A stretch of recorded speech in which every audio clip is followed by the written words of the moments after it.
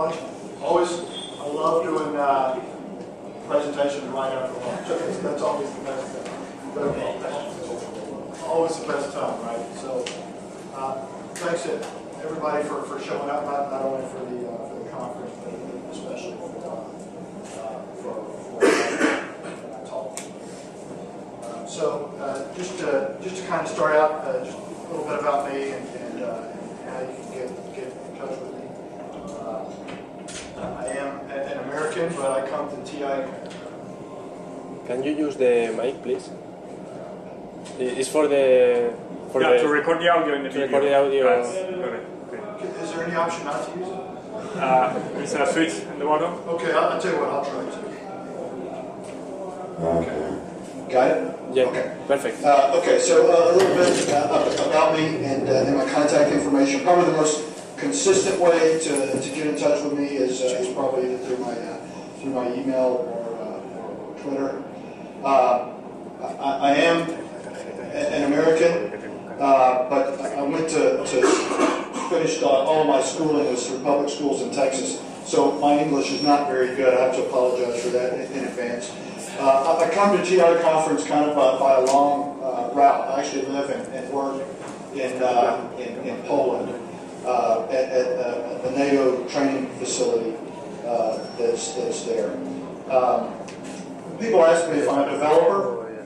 I said, no, I'm not a developer. I do develop, but I'm I'm not a developer in the sense of being uh, classically trained.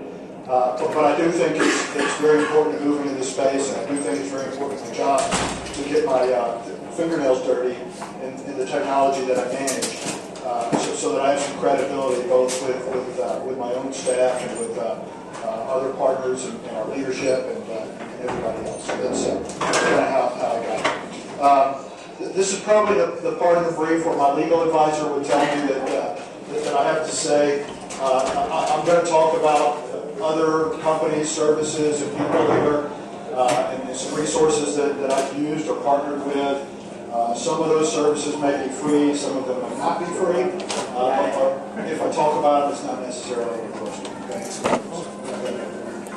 Uh, okay, so this is a, a training facility uh, called Joint Force Training Center. It's in, uh, in North Central Poland, uh, in the city, uh.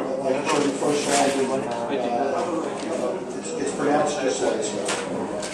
Uh, and, and we conduct collective tactical training of mostly of NATO forces, but other organizations as well. That means we, we train staffs, we train organizations. We don't really do buddy boots training or individual training skills uh, training, uh, but we do all types. A lot of it is, uh, is centered on the ISAF mission, the Afghanistan mission.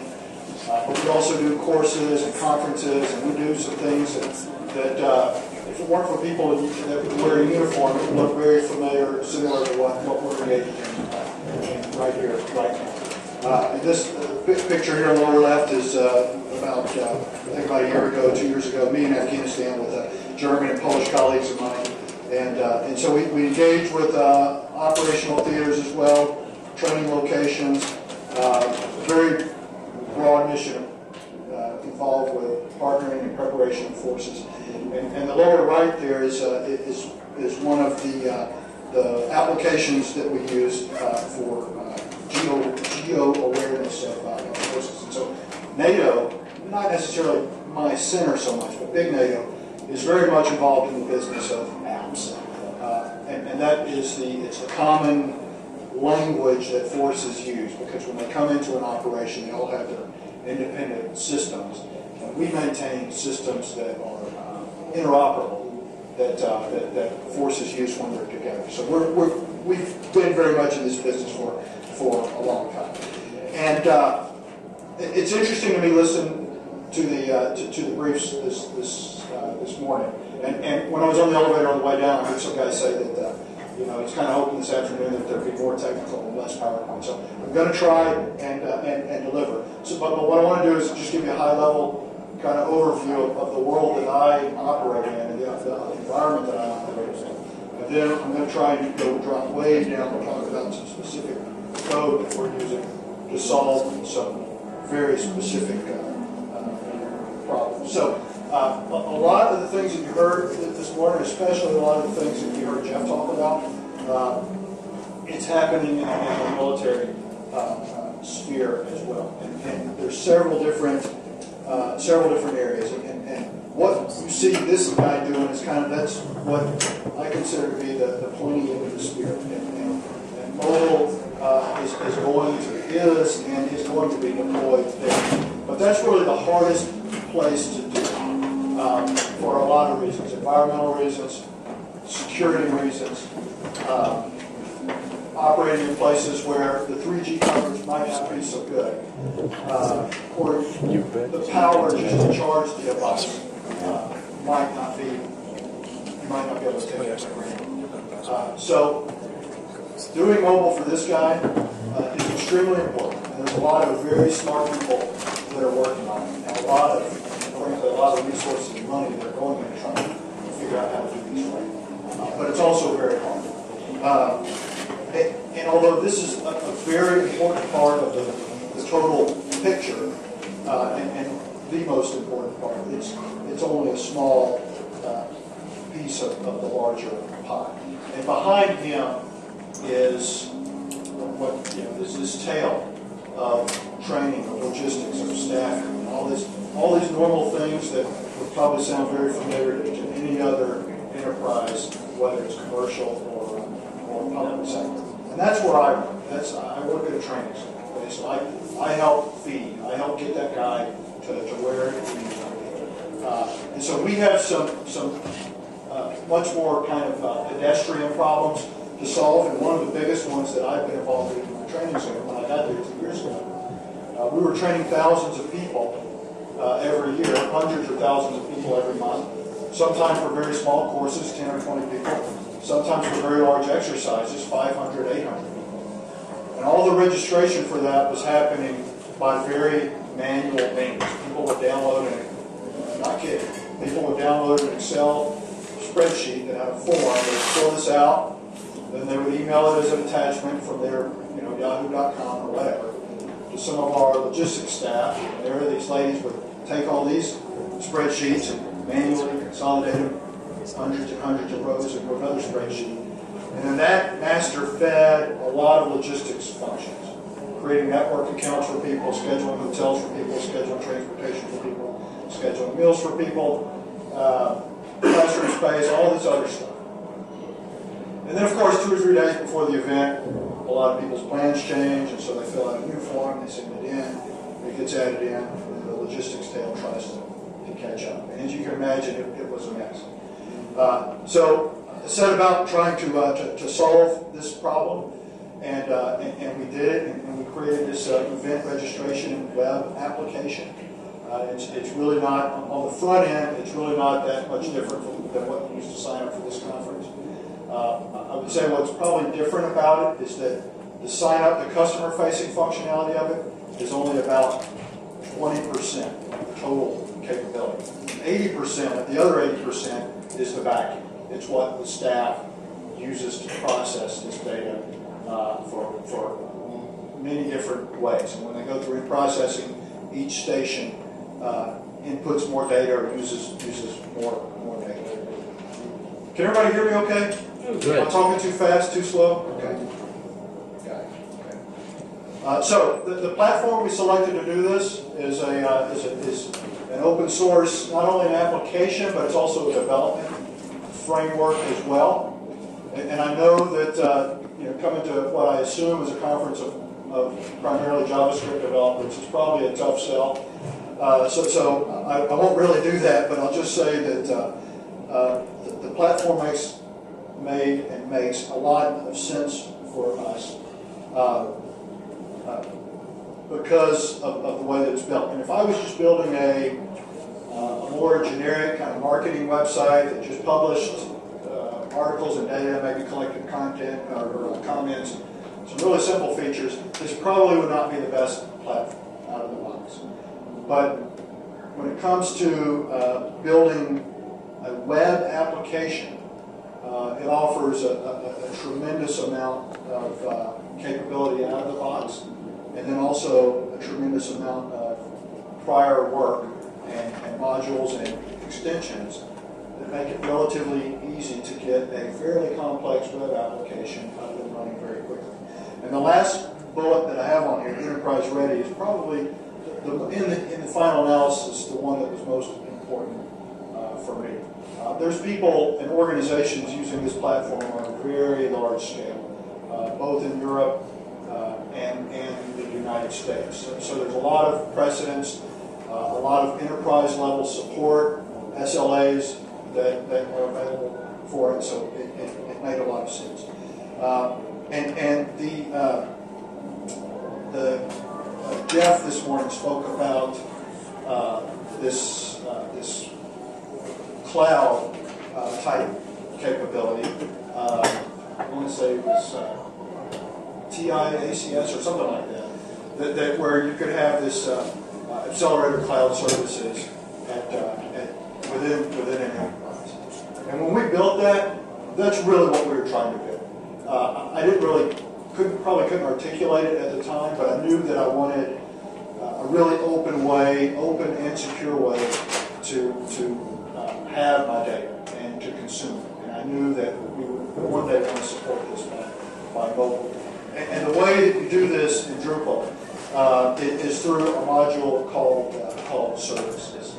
Uh, and, and I want to talk about this for a few minutes. Uh, so, um, and, and basically, what services does um, is it, it exposes uh, Drupal content in a, in a structured way, whether it's uh, whether it's through uh, RESTful queries, uh, it can be exposed as XML, uh, JSON, and uh, and if, if you read uh, just a little bit about services, uh, you see it kind of gets a bad rap, I think, uh, because it's it's got a lot of capability and a lot of functionality, but it's not very well documented. And, and I think some of the screencasts I've seen of the developers of services, they, they fully admit that. Um, but it wasn't really, I also think it wasn't really designed uh, to, to be a complete package out of the box. Services, is, to me, it's really more of a, a development tool or a development platform. So, uh, so if you install services, it allows you to create content, to do your basic CRUD operations on content. It it enables you to authenticate. Uh, there's a couple of things it allows you to do with comments, files, maybe, but that's about that's about it.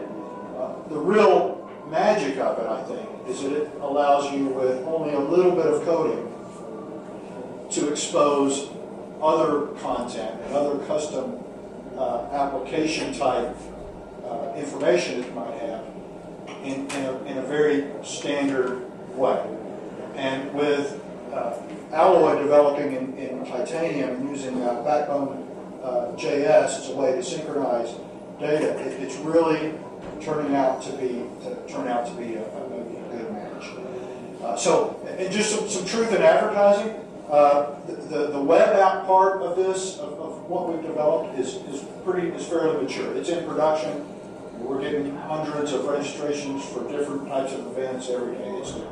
The mobile side of it, eh, we're more at like phase zero, phase one of that. Okay, it's still still in development. We're still trying to figure out exactly how we're, going to do it.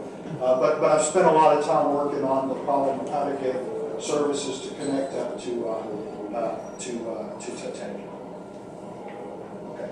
Uh, so so with that, uh, if you guys if you guys don't mind, I'll, I'll try and, uh, uh, and, and do some demonstrations here and see some code. If you have any questions, uh, please just just ask. I, I ask you to kind of be patient with me. I'm, I'm uh, falling victim to the tyranny of having a, a really narrow VGA display here, so I, I, I can't. The, the Android emulator won't. You can only see like the top corner of it. Uh, so we'll we'll run it in, in iPhone and, and, uh, and see see how it goes. Uh, so, uh, well, just to just just to talk about it. So, uh, one of the uh, just uh, one of the things that uh, that, that we've kind of struggled with in, in collecting this information is that the, content that we collect for event registrations is many different fields. Uh, some of them are plain text fields like uh, their name, uh, their rank, their uh, but some of it is files copy of their security clearance. Some of it is uh, um, uh, dates. So there's many different types of, of content uh, that, that we capture. And it, it's somewhat trivial to, to build a form that, that can emulate that in, in a native interface and, and, and post it. But what if, but, but that's kind of a, uh, a, a tightly coupled solution. Then if anything changes on your form, it could potentially break your, your app. Best case, the data wouldn't get good saved. Worst case, it, it wouldn't even, none of it would, uh, would, would get saved. Uh, so some of the, the, the things that we've used to, to put this together uh, is, uh, is, is Drupal 6, and that's kind of the, the trailing edge. And Drupal 7 is really more uh, mainstream now.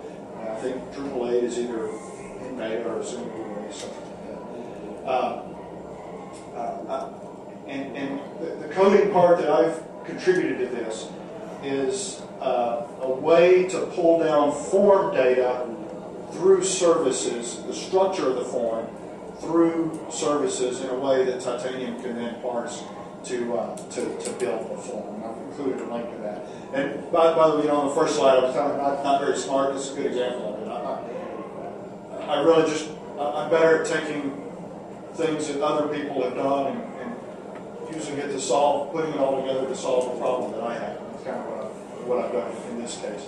Uh, there's a uh, there's a, a, a really good kind of start to a forms uh, library that I think Tony uh, Lukasavage did way back, and I've used that to, to help generate the, the form uh, dynamically and in a modular way uh, with respect to the different different field types. Um, and then, uh, of course, the services. Uh, uh, let's see, yeah, the, the services library.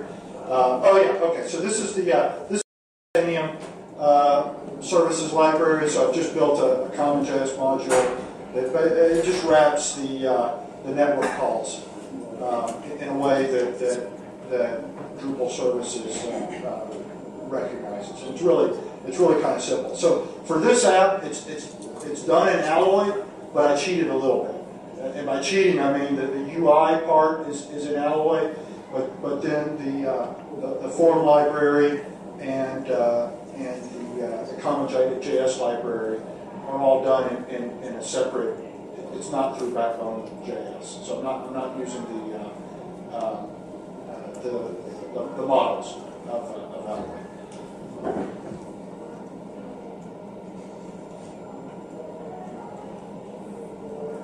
So this, and this is just a really simple uh, demo app uh, that I put together just for the purposes of this conference to, to just to show the, uh, uh the capability. And uh, if you came to this session expecting some, a really neat design or, or, or layout or uh, user interface, you probably came to the wrong session.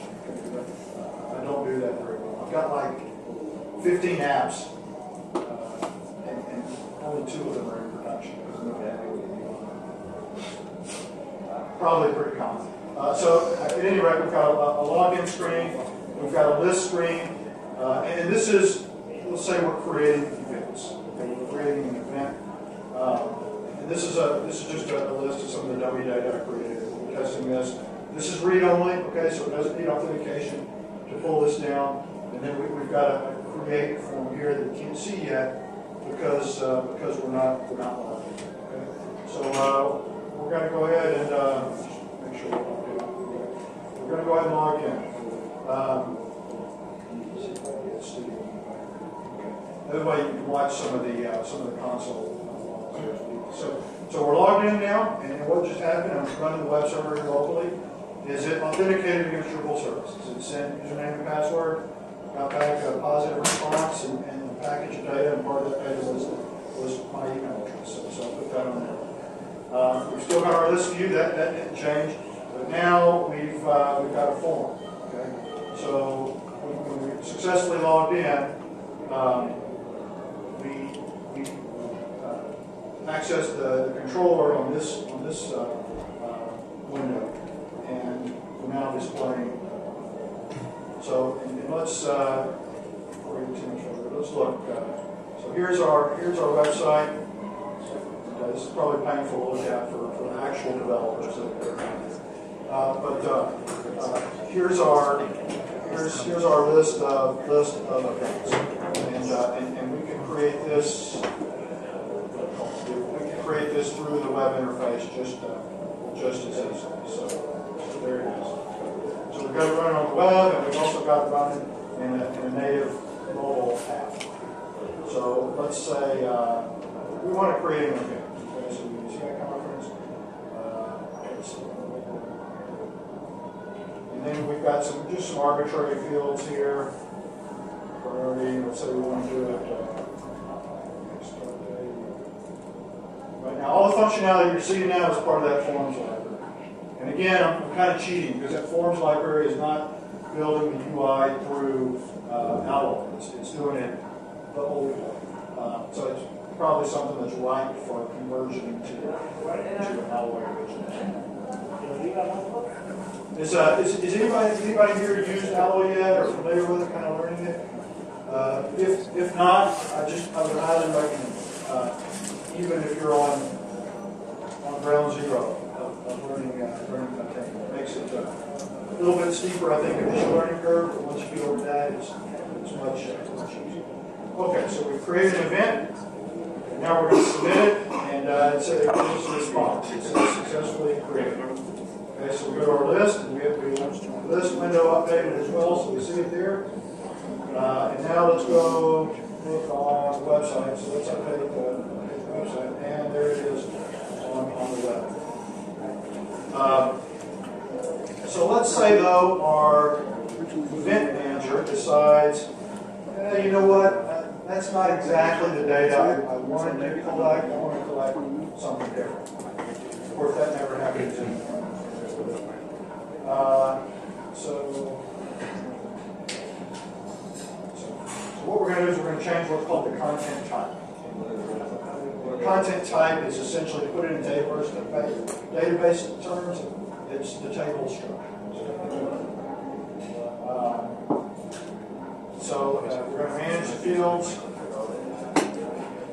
here. And let's say, well, we need a registration.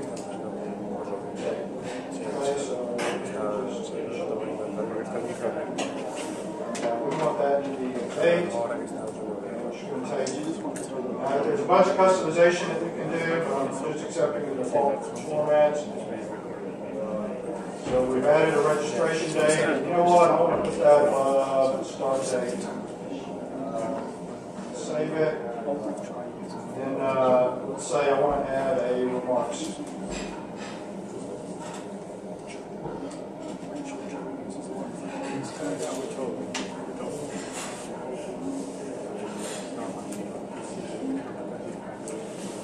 So our, uh, our event manager, our content manager, you can do all these kind of changes through, through the, through the browser. Okay, so we've got a new form here.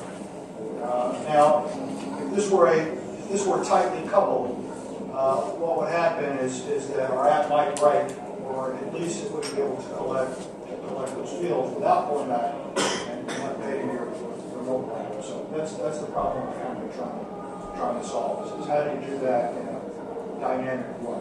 So we're going to log down here, log in to force it to all the form, and, uh,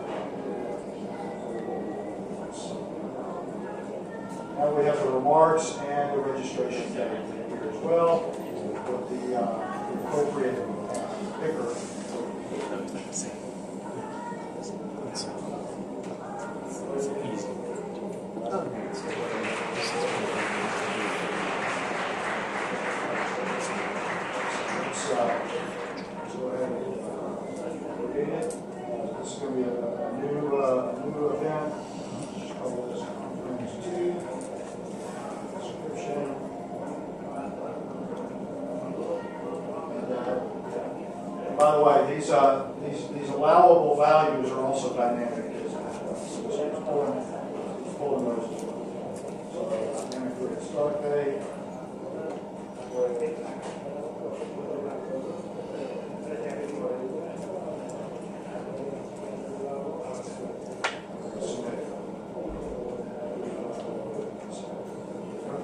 successful. Like the first, it is. And so there we go. So Drupal—it's hard, but it's by kind of by design. And that is uh, building the node object. And, and, and, by node, I mean the record. Again, put it in terms. The, the, uh, the record that you want to say. Uh, is, is, building that in, in the way that, that Drupal recognizes it. And more specifically, the Drupal content type that, that you built. Uh, but it's hard by design because there's many different content, there's many different fields that you can put. Some of these may be plain text, some of them may be a calendar, some of them may be uh, multiple choice, some of them may be a photo, some of them may be a file. There's all kind of, uh, of extensions to what's called CCK, the content creation. Uh, but there's also there's also some uh, some developer tools. Uh, if you do a little bit of googling, uh, that can help you on the Drupal side to, to figure out what that structure is supposed to look like. Uh, so in other words, you test it on your website, you figure out exactly what that JSON object is supposed to look like, and then you can create in your Titanium app. And once you get the structure figured out, uh, everything else is, is fairly standard to, uh, to Titanium. And, and it's, showed down here, it's just a, it's just a simple, uh, uh, network call that you pass to your specific, uh, specific. Uh, okay, and, and building this and, and the research that I did, uh, that, that I did online, and, and through services documentation, everything else, and, and looking at the prior art that's been done on solving this problem, the problem that most people have with is the uh, is that the pieces of the CRUD operation that require authentication. So if it's a privileged uh, uh, piece of content, and and the, the way that uh, the way that I solved uh, solved this is that you got to wait for that login authentication response to come back before you post the content. It sounds kind of uh, sounds kind of trivial, but uh, just again, it seems like in, in looking at a lot of documentation, a lot of people, uh, frankly, people that are probably a lot smarter than me, uh, haven't haven't figured out yet. And, and in, in titanium, if you use uh, if you use good um, uh, callback practices that allow it to be asynchronous, uh, you can do that. So so in, in other words. Uh, anything that requires authentication to do on the Drupal side, it has to be fired uh, here after after this. Once once you get the success back, you can't send the, uh, the authentication uh, uh, package or the authentication object, and and at the same time that you send content, or send the content before that response comes back. Because either way, it will either fail or, or at best be uh, best be inconsistent. Does that make sense? Anybody? No, does anybody? Um, so before I leave that, let me. I think I'm doing okay time wise. Uh,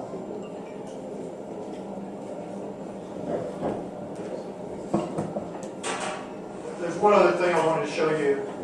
Uh, if, if you're familiar with Alloy, or if you started with Alloy, one of the one of the uh, kind of the challenges I've had in it, and, and this is probably more a reflection of my own shortcomings rather than the, the framework, but it's how do you manipulate uh, how do you manipulate the view that belongs to a different control?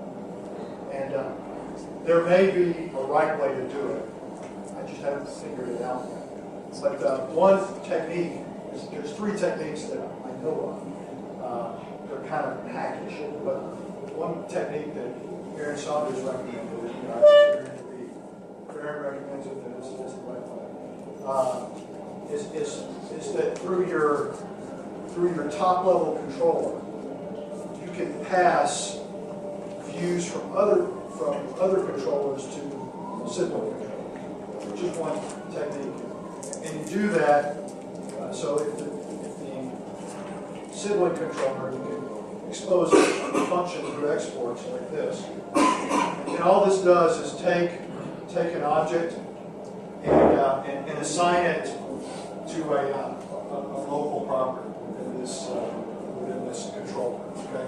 So then in index.js, probably be helpful if I. So,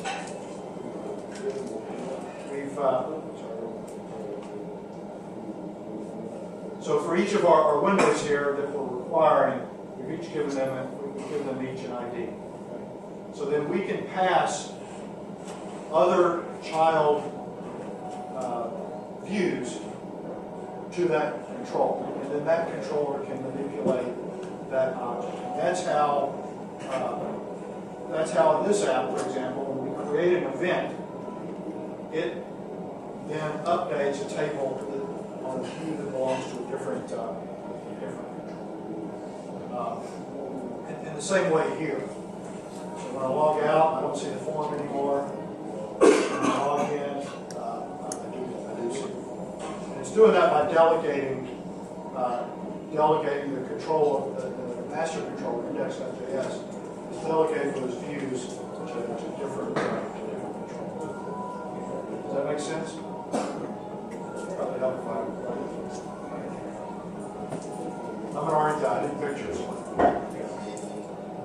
So any questions so far on this? I'm about to, about to jump into, uh, uh, into my next, uh, next use case. So, so we've got all this great data. We built this event registration, uh, app that is collecting thousands, hundreds of thousands of registrations every month. Uh, and, and we realize part of it is, is helping us to, part of it is helping us to, uh, uh, to do the logistics to support these people that are coming in. But we realize we're collecting a lot of great data on the training audience that we never really had before. So we now know what nations are sending people to train here. Uh, we know what branches of service are coming from, what skill sets they have, who's been to a training event more than once. We can contact them as a subject matter expert. Uh, so that's just, again, my line of work, that's some business intelligence we're collecting. So how do we, how do we make that useful for our leadership, for our executives? Uh, and, and one way, I'm very close to having this into, into production, although for this app, production means about probably four or five devices, but they're very important devices. Uh, and, and we're doing it in, in much the same way that actually it did for the, uh, for the registration. It's interacting with, uh, it's interacting with services. It's also authenticating because this is not data that we want to share with the, uh, with, with the whole world. Uh, so, uh, so it's authenticating, uh, and it's, it's pulling this data down. Now, now the, uh, the, the Drupal library that we had to write for this was a little bit more complex because we had to do some queries to, to get all this, this data from, from different, uh, different events. Uh, we also use the, uh, the RGraph uh, charting library. There's other JavaScript chart, charting libraries that we can use. And we put it in a, uh, in a web view that's wrapped with some native uh, UI uh, components. And, uh, and, and I'm actually, in some ways, a little bit more proud of this app because it's a pure, uh, closely pure Alloy app that uses the backbone uh, sync method to, to reach out and grab from, the server.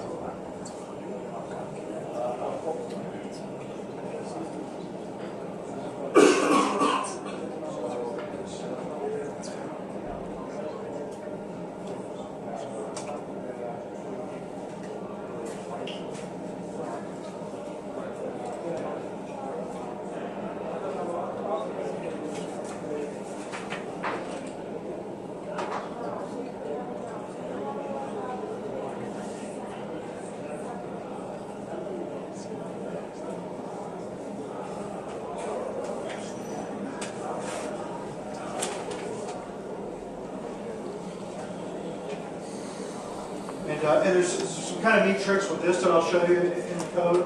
Uh, one is, is how you, how you, uh, uh, so, so, so right now, you don't see the little twirly thing, but, uh, what's happening is it went out to the network, it actually, well, the, the great Wi-Fi here, it went out and grabbed the, uh, grabbed the data from a, from a development server, pulled it back here, now it's populated. So this is a list of, of past events each one of those table view rows also has the, the data uh, package with it, the data object uh, that's, that's specific to that event, so we don't have to reach out again.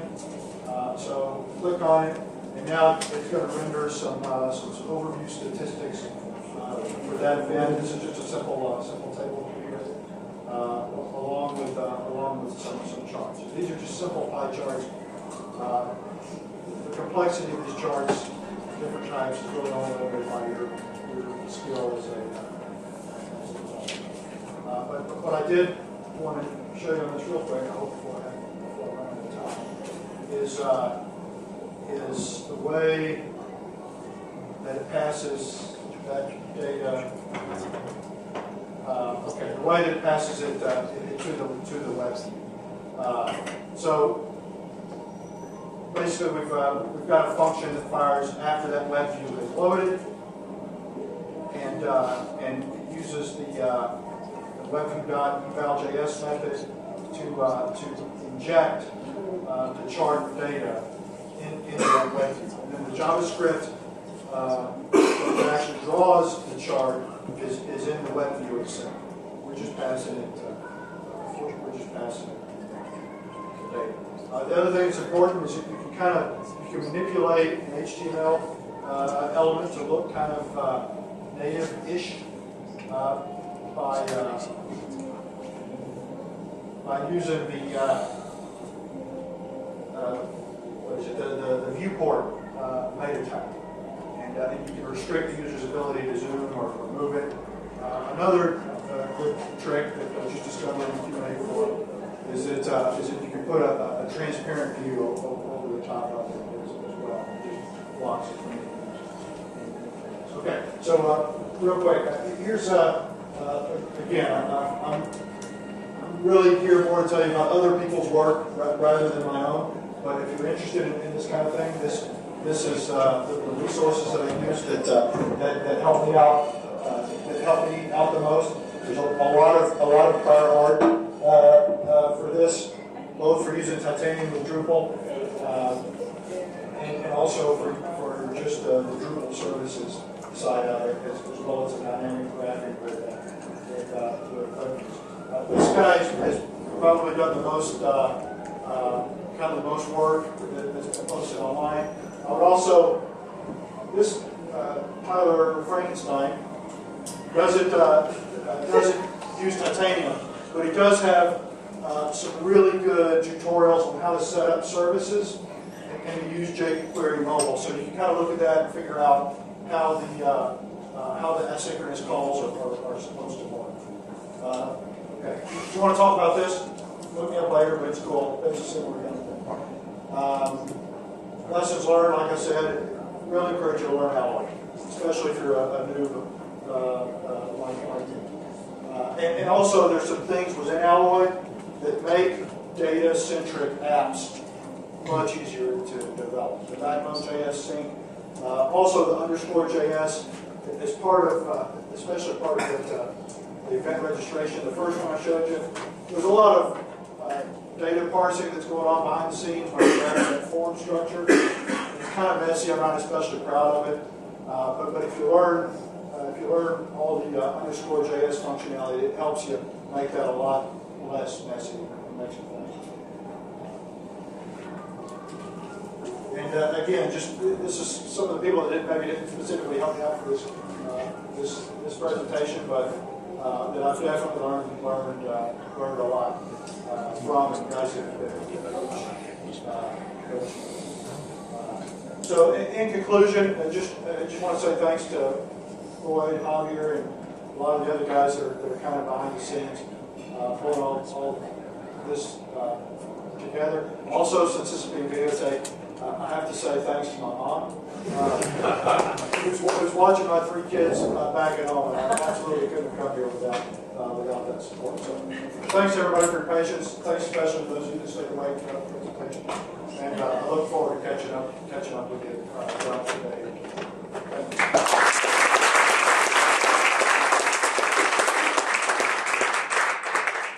Everyone, so the goal next is um, uh, object-oriented.